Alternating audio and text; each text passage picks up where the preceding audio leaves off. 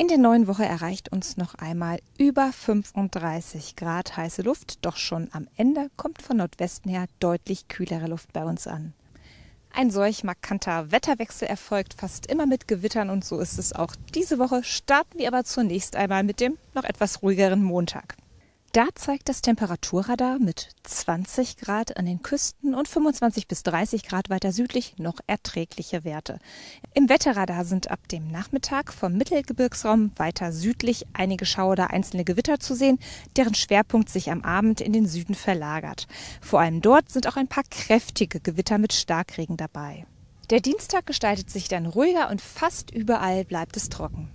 Ausnahme ist der Nordwesten, wo ab dem Mittag etwas dichtere Wolken aufziehen, die nachmittags Richtung Nordsee und abends auch an der Ostsee ein paar Tropfen Regen bringen.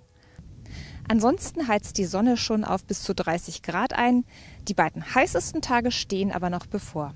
Denn auf der Vorderseite von diesem Tief gelangt ab Mittwoch ein Schwall sehr heißer Luft zu uns. Am Mittwoch erwartet uns somit ein sonnig heißer Tag mit 30 Grad und mehr mit den angenehmsten Werten an der Nordsee. Auch der Donnerstag wird mit großer Wahrscheinlichkeit noch einmal sehr heiß, beziehungsweise bei den meisten sogar noch heißer und auch schwüler als der Mittwoch.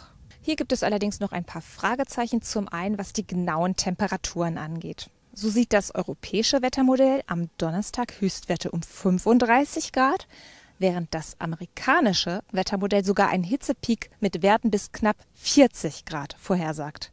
Alles hängt von der Lage dieser Kaltfront ab, die mit kräftigen Gewittern nach einer Variante den Nordwesten schon am Donnerstag und nach einer anderen erst am Freitag erreicht. So oder so drohen Ende der Woche kräftige Gewitter mit Unwetterpotenzial. Nur der zeitliche Ablauf, der ist noch unsicher. Gibt es zum Beispiel schon am Donnerstag Nachmittag Gewitter, erst in der Nacht zu Freitag oder erst am Freitag tagsüber. Klarer ist, dass es nach den Gewittern am kommenden Wochenende ruhiger und mit Werten zwischen 20 und 25 Grad auch deutlich kühler wird. Allerdings geht der Temperaturtrend dann wieder langsam nach oben. Bis dahin kommt gut durch die Hitze. Ich bin Verena Leindecker von Wetter Online. Wie das Wetter wird, mit der Wetter Online App immer einen Schritt voraus sein. Jetzt installieren.